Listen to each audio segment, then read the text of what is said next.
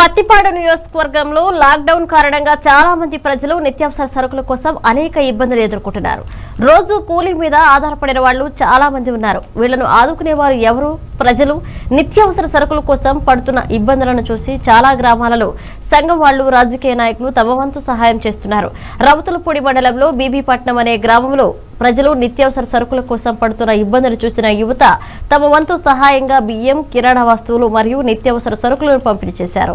ఈ కార్యక్రమంలో సత్యనారాయణ చంటిబాబు జమీలు లోవరాజు సూర్యబాబు రమణ గోవింద్ తదితరులు పాల్గొన్నారు.